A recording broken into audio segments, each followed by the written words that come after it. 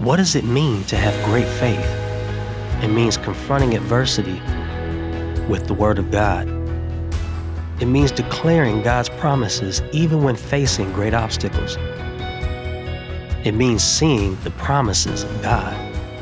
Great faith is placing your entire confidence in what God has said. Let this be a year of great faith.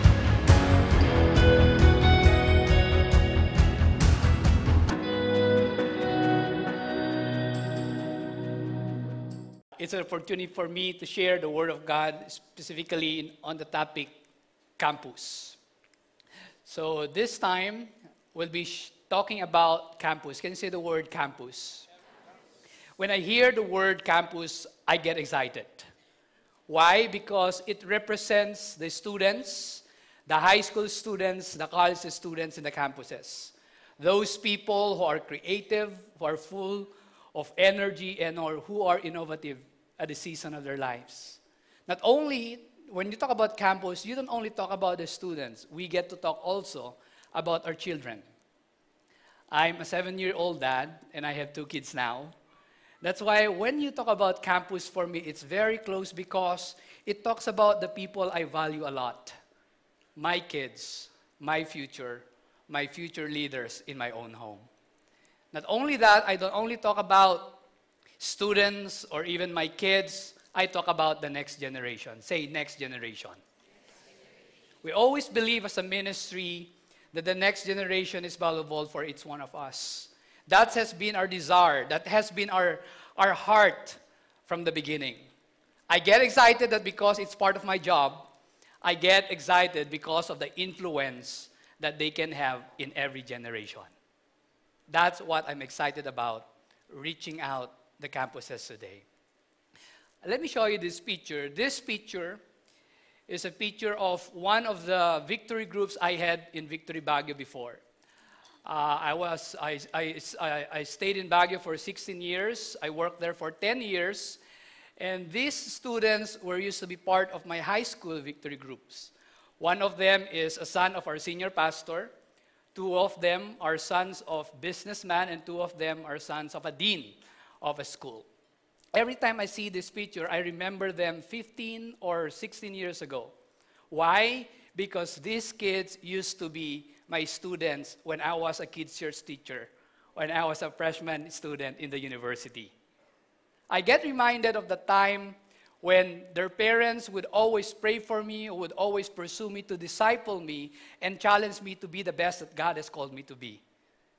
And every time I look at this, I also remember the time where God has entrusted me, them, their lives, for them to be discipled and to be launched to do what God has called them to do.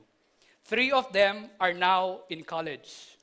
Three of them are now about to pursue and about to witness their dream in their lives. When I see this, I see that the future is bright. Can you say the future is bright? These students will make an influence in every generation.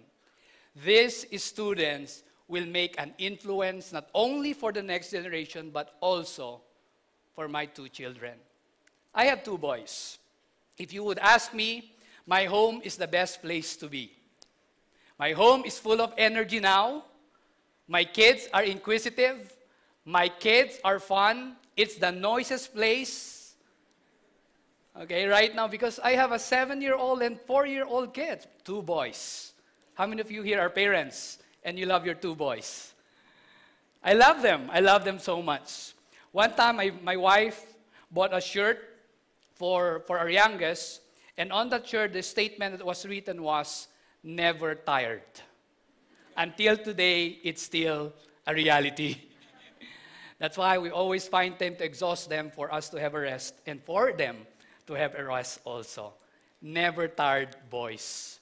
When we talk about the youth today, there are many ways on how people describe the youth. There are many ways on how they see them. They have different perceptions.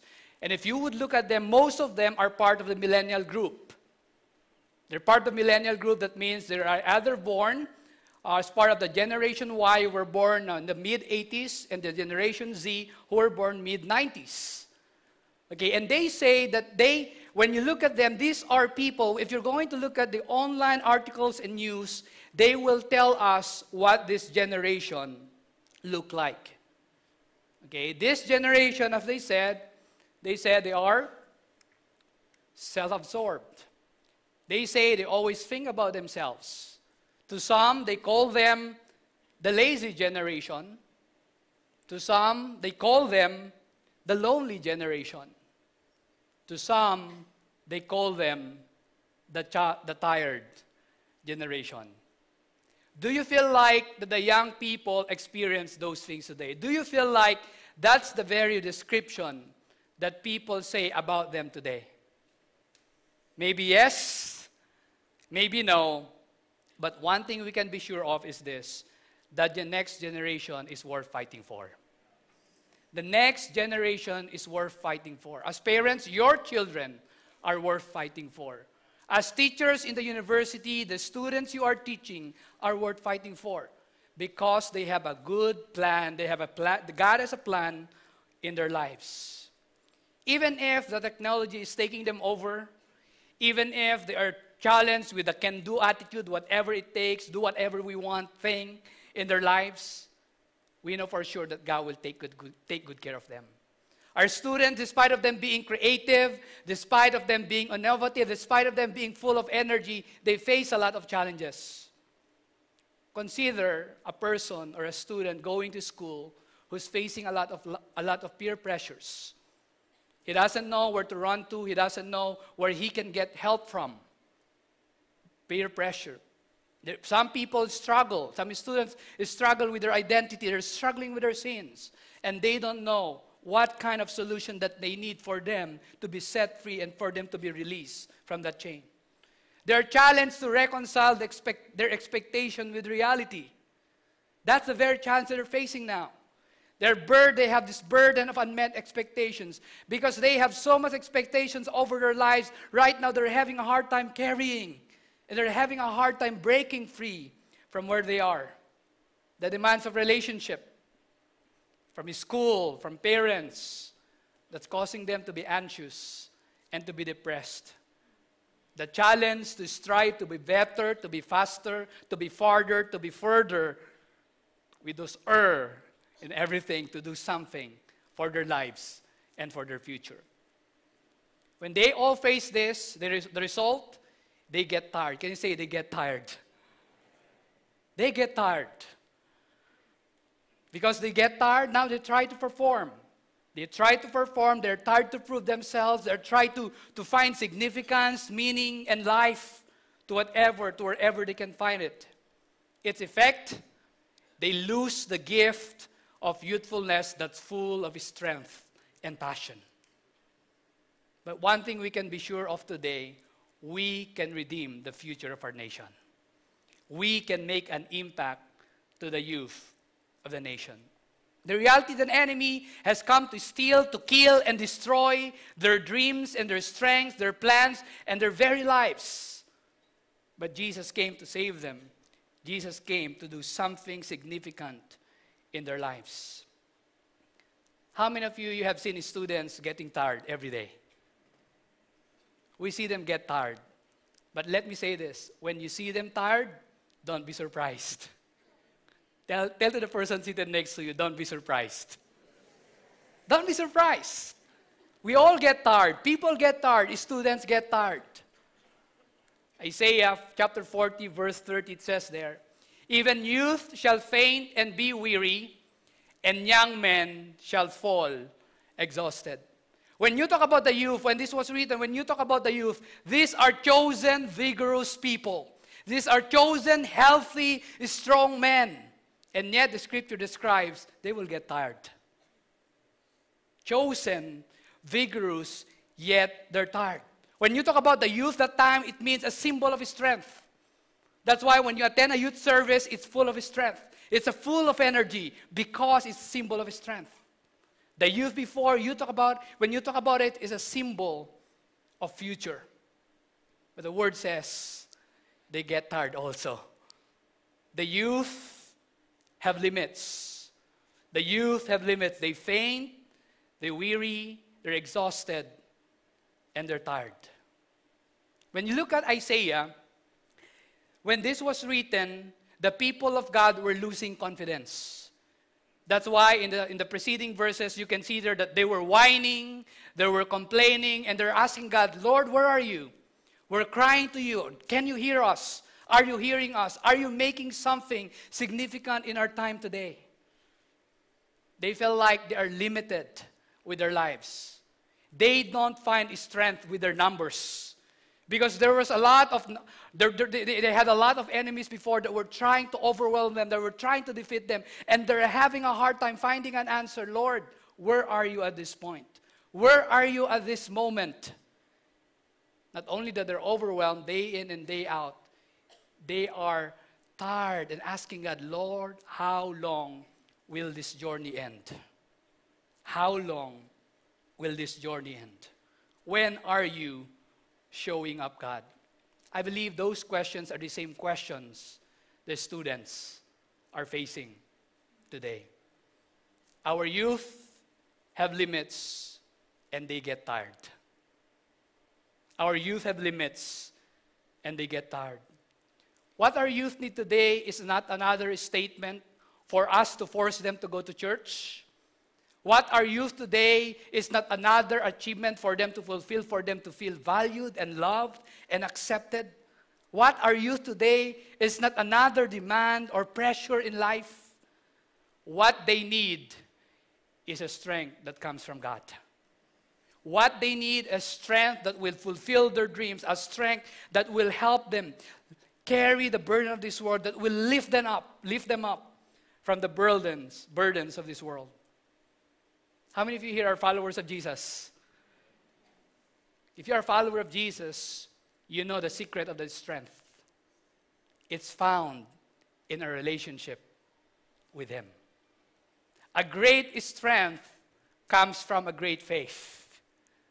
A great strength comes from a great faith, and it is available for the next generation today. It continues in Isaiah chapter 40, verse 31. Yet these youth are tired, but it says here, but they who wait for the Lord shall renew their strength. Can you say the word wait?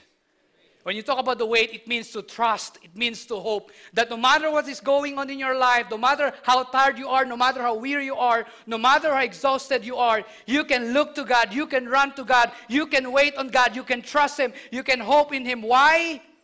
Because He is Lord of all lords.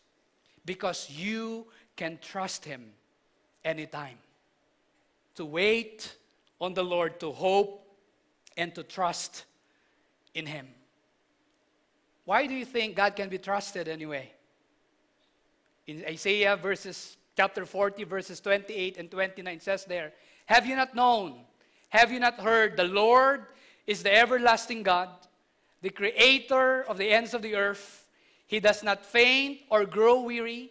His understanding is unsearchable.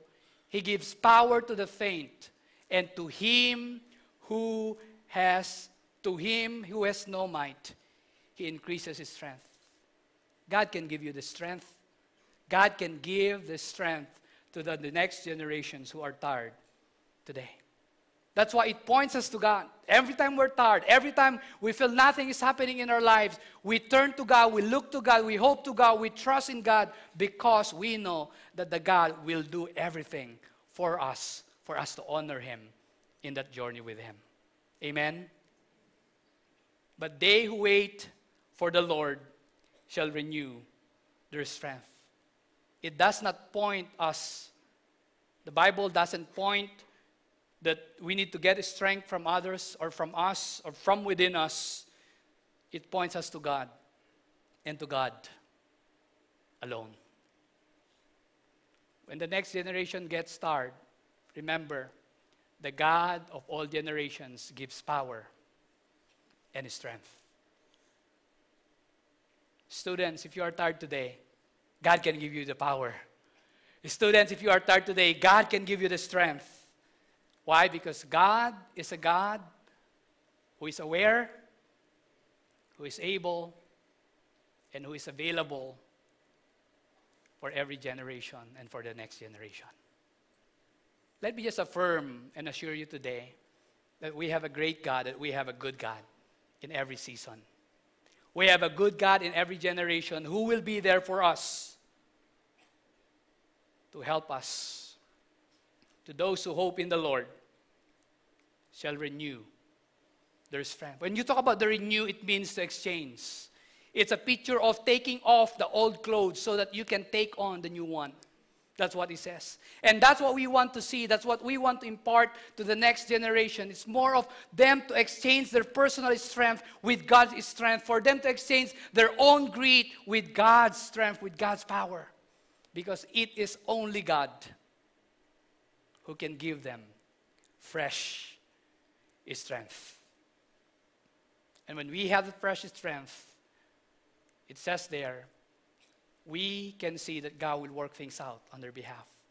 They will mount, with, mount up with wings like eagles. They shall run and not be weary. They shall walk and not faint. Can we, can we read that together? One, two, three, go. They shall mount up with wings like eagles. They shall run and not be weary. They shall walk and not faint. One thing I like about God is that God uses starred and broken people to minister to the starred and broken generation. Consider the life of David. If you look at the life of David, David battled deep despair. But because of his faith in God, because of his great faith in God, he came to get the strength for him to be sustained along the way. Remember the life of Elijah. Elijah was discouraged and afraid. Remember the life of Job. Job suffered great loss. Remember the life of Jeremiah. Jeremiah wrestled with loneliness. But because God is a great God and He has great strength and He wants to impart it to the next generation, to the students, He will be there for them. God can take good care of them.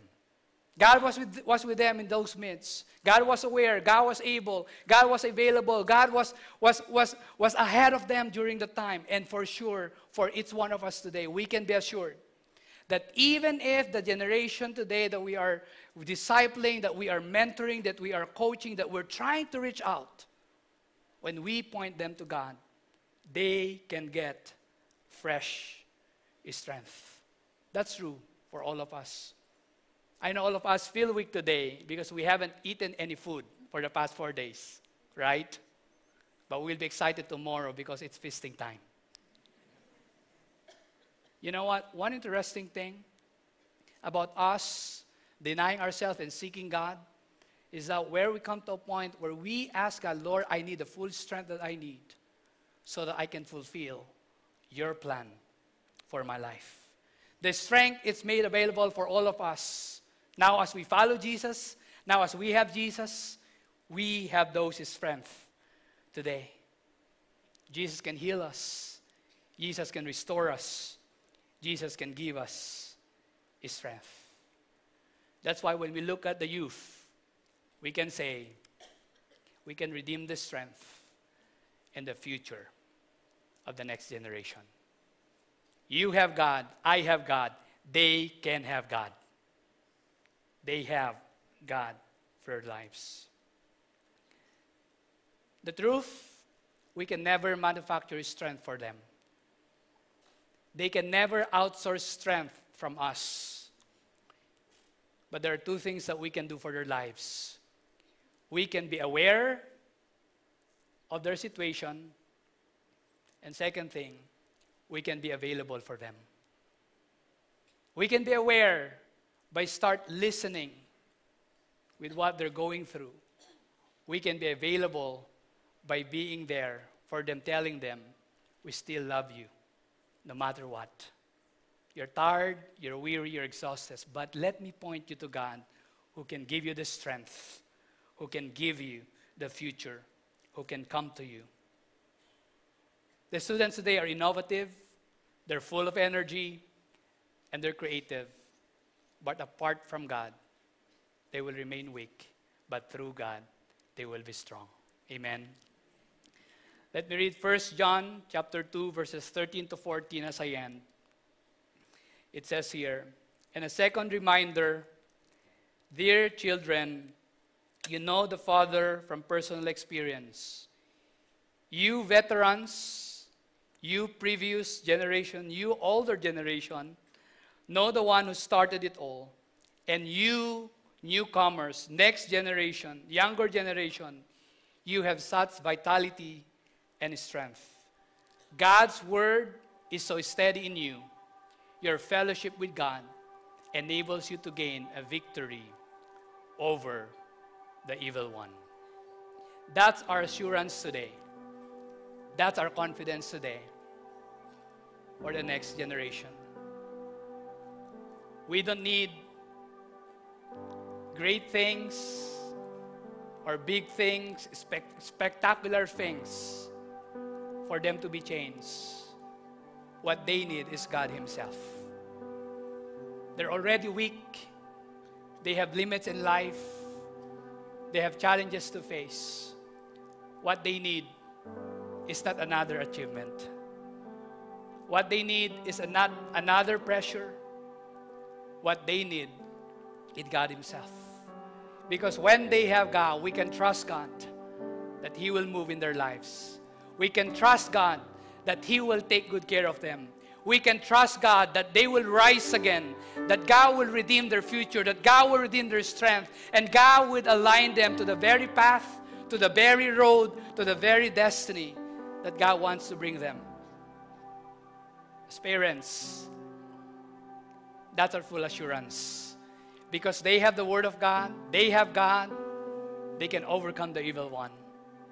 And we just provide a way for them to help them in this journey. Amen. Thank you, Lord. Can we pray? Jesus, we come to you tonight knowing that you are a good God, knowing that you are the God who saves, and you are the God who gives us power in everything. Today, God, we remember the youth of this nation today, the next generation, the students, our children. Lord, many times we see them as students with full of energy, but deep inside they're struggling. Deep inside they're lonely. Deep inside they're exhausted. Deep inside they're facing the demands of this world and try to figure out things on their own. Today, as a church, as a family, would you come and touch them tonight? Would you come and reveal yourself that you are the right source, that you are the right strength in their lives? Thank you, Lord. If you're a student today, can you just lift up your hands? Let me say this God has gifted you. You're full of energy, you're creative, you're innovative. But those things, don't allow those things to destroy you. Let the power of God empower you with those gifting to fulfill the call of God in your life. Be affirmed today that God has gone ahead of you. Let me declare, thank you, Lord, for the next generation that we have in this room. They shall mount up with wings like eagles. They shall run and not be weary. They shall walk and not faint. Today we redeem the strength and the future of our next generation. Thank you, Lord. To some who have kids, to some who have children, would you come and show us and help us be aware and be available for them and impart the power of God that comes through the gospel, that comes through Jesus. In Jesus' name we pray. Amen and amen. Thank you.